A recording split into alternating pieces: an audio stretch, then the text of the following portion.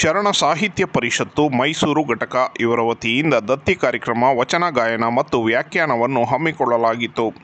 ಕಾರ್ಯಕ್ರಮವನ್ನು ಗಣ್ಯರು ದೀಪ ಬೆಳಗಿಸುವ ಮೂಲಕ ಉದ್ಘಾಟಿಸಿದರು.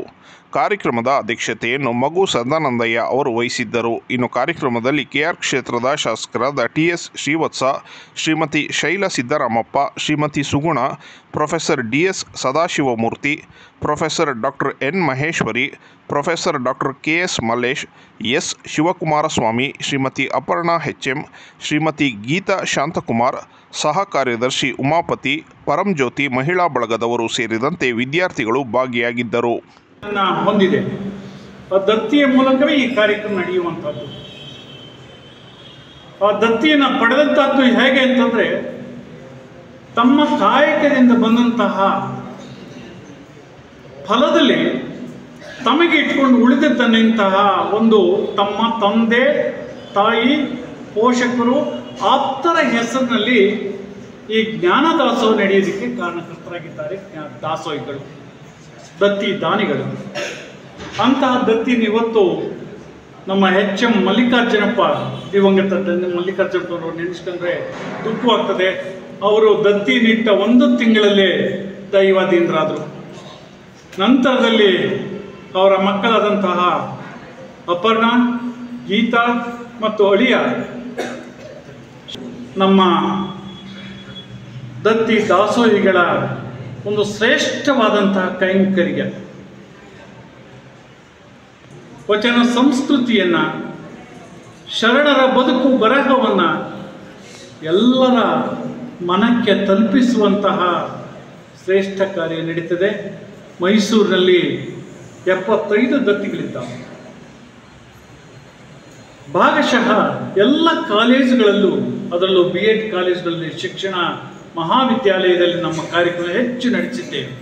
ಅತ್ಯಂತ ಪ್ರೀತಿಯಿಂದ ಮತ್ತೊಮ್ಮೆ ಸ್ವಾಗತವನ್ನು ಬಯಸ್ತಾ ನಾವು ಇವತ್ತು ಇವತ್ತು ವಚನ ಗಾಯನ ಮತ್ತು ವಚನ ವ್ಯಾಖ್ಯಾನ ಎನ್ನುವಂಥ ಕಾರ್ಯಕ್ರಮ ಹಮ್ಮಿಕೊಂಡಿದ್ದೇವೆ. ಗಾಯನ ಮಾಡಲಿರುವಂಥವರು ಖ್ಯಾತ ಗಾಯಕರು, ವ್ಯಾಖ್ಯಾನ ಮಾಡಲಿರುವಂಥವರು ಅತ್ಯಂತ ಶ್ರೇಷ್ಠ ವಿದ್ವಾಂಸರು. ಅವರೆಲ್ಲ ನಿಮಗೆ ಇವತ್ತು ಈ ಸಂಸ್ಥೆಗೆ ಭೇಟಿಯನ್ನು ಕೊಟ್ಟಿದ್ದಾರೆ. ಸಾವಿರದ ಒಂಬೈನೂರ ಎಂಬತ್ತ ಆರರಲ್ಲಿ ರಾಜೇಂದ್ರ ಮಹಾಸ್ವಾಮಿಗಳ ಅಮೃತ ಮಹೋತ್ಸವದ ಅಂಗವಾಗಿ ಸ್ಥಾಪಿತವಾದಂಥ ಈ ಅಖಿಲ ಭಾರತ ಶರಣ ಸಾಹಿತ್ಯ ಪರಿಷತ್ತು ತಿಪ್ಪೇರುದ್ರ ಸ್ವಾಮಿಗಳ ಅಧ್ಯಕ್ಷತೆಯಲ್ಲಿ ಆರಂಭವಾದದ್ದು ಗುರುಚ ಅವರ ಅತ್ಯಂತ ಕ್ರಿಯಾಶೀಲವಾದಂಥ ರೀತಿಯಲ್ಲಿ ವ್ಯಾಪ್ತವಾಗಿ ಜನಮನವನ್ನು ತಲುಪಿಸುವ ರೀತಿ ಬೆಳೆಸಿದಂತಹ ಒಂದು ಬೆಳವಣಿಗೆ ಇದೆ. ಈಗ ಡಾಕ್ಟರ್ ಸಿ ಸೋಮಶೇಖರ್ ಅವರು ಇದರ ಅಧ್ಯಕ್ಷತೆಯನ್ನು ವಹಿಸಿಕೊಂಡಿದ್ದಾರೆ. ಆನಂದಕವಾಗಿ ತಿಳಿಸಿಕೊಟ್ಟಿದ್ದಾರೆ. ವಚನ ಅನ್ನುವಂಥದ್ದು ಅನೇಕ ಸಂದರ್ಭದಲ್ಲಿ ನಮಗೇನು ಅನ್ನಿಸ್ತಾ ಇತ್ತು ಅಂತಂದ್ರೆ ಯಾವುದನ್ನ ಮಾತಿನಲ್ಲಿ ಹೇಳಕ್ಕಾಗಲ್ಲ. ಯಾವುದು ಕಠೋರವಾಗಿ ಹೇಳಕ್ಕೆ ಆಗಲ್ಲ ಅನ್ನುವಂಥದ್ದನ್ನ ವಚನದ ಸಾಹಿತ್ಯದ ಮೂಲಕ ತಿಳಿಸ್ಕೊಡುವಂತ ಸಮಾಜವನ್ನ ಮತ್ತೆ ಸಮಾಜವನ್ನ ನಡೆಸ್ತಾ ಇರುವಂತವರ ಏನು ನಡವಳಿಕೆಗಳನ್ನ ತಿದ್ದುವ ಮುಖಾಂತರ ಅಥವಾ ತೋರ್ಪಡಿಸುವ ಮುಖಾಂತರ ಎಚ್ಚೆತ್ತುಕೊಳ್ಳಿ ಅನ್ನುವಂಥದ್ದನ್ನ ಅನೇಕ ಸಲ ವಚನ ಸಾಹಿತ್ಯದಲ್ಲಿ ನಾವು ನೋಡ್ತೀವಿ. ಅನೇಕ ವಚನಗಳು ಇವತ್ತಿನ, ಇವತ್ತಿಗೂ ಅದು ಬಹಳ ಪ್ರಸ್ತುತೆಯನ್ನು ಹೊಂದಿಕೊಂಡಿರುವಂಥದ್ದು ಇವತ್ತು ಕನ್ನಡ ಸಾಹಿತ್ಯದಲ್ಲೇ ವಿಶೇಷವಾಗಿ ವಚನದ ವಿಷಯಕ್ಕೆ ಬರೋದಾದ್ರೆ ನಾವು ಅಲ್ಲಮ ಪ್ರಭುದು ನಮ್ಮ ಭಾರತೀಯ ಜನತಾ ಪಾರ್ಟಿಯ ಕಚೇರಿಯಲ್ಲಿ ಲೈಬ್ರರಿ ಒಂದನ್ನು ಮಾಡಿದೀವಿ ಗುರುಗಳೇ. ಅಲ್ಲೂ ನಾವು ಅಲ್ಲಮ ಪ್ರಭು ಅವ್ರದ್ದು, ಅಕ್ಕ ಮಹಾದೇವಿ ಅವ್ರದ್ದು ವಚನ ವಚನದಲ್ಲಿ ಯಾವುದನ್ನ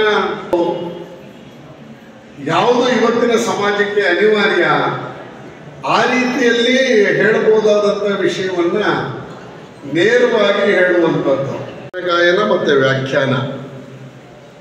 ಈ ಒಂದು ಕಾರ್ಯಕ್ರಮದಲ್ಲಿ ವಚನ ಗಾಯನವನ್ನ ಶ್ರೀಮತಿ ಸುಗುಣ ಅವರೇ, ಡಿ ಎಂ ಸಿದ್ಲಿಂಗ್ ಸ್ವಾಮಿ ಅವರೇ, ಇದರ ವ್ಯಾಖ್ಯಾನವನ್ನು ಮಾಡಲಿಕ್ಕೆ ಅಂತ ಬಂದಿರುವಂಥ ಪ್ರೊಫೆಸರ್ ಸದಾಶಿವ ಮೂರ್ತಿ ಅವರೇ, ಪ್ರೊಫೆಸರ್ ಡಾಕ್ಟರ್ ಎನ್ ಮಹೇಶ್ವರಿ ಅವರೇ, professor doctor K S Mallesh ಅವರೇ, ಇಷ್ಟೊತ್ತು ನಮ್ಮ ಜೊತೆ ವೇದಿಕೆಯಲ್ಲಿ ಆಸೀನರಾಗಿದ್ದು ಈಗ ಅನ್ಯ ಕಾರ್ಯದ ನಿಮಿತ್ತ ತೆರಳಿರುವಂಥ ಜೆ ಎಸ್ ಎಸ್ ಮಹಾವಿದ್ಯಾಪೀಠದ ಕಾರ್ಯದರ್ಶಿಗಳಾದಂಥ ಶಿವಕುಮಾರ ಸ್ವಾಮಿ ಅವರೇ ಶ್ರೇಷ್ಠವಾದಂಥ ಕೆಲಸ ಇನ್ನೊಂದು ಇಲ್ಲ ಅನ್ನೋದನ್ನ ನಿಮ್ ಗಮನಕ್ಕೆ ತರ್ತಾ ಇದ್ದೀನಿ. ದಯಮಾಡಿ ತಾವೆಲ್ಲರೂ ಅದನ್ನ ಮನಸ್ಸಲ್ಲಿ ಸ್ವೀಕಾರ ಮಾಡಬೇಕು ಅನ್ನೋದನ್ನ ನಾನು ಬಯಸ್ತಾ ಇದ್ದೀನಿ. ಒಂದು ಸಣ್ಣ ಕಥೆಯ ನೆನಪಿಗೆ ಬರುತ್ತೆ. ಕಥೆ ಹೇಳಿ ನನ್ನ ಮಾತಿಗೆ ವಿರಾಮ ಹೇಳ್ಬಿಡ್ತೀನಿ ಸರ್.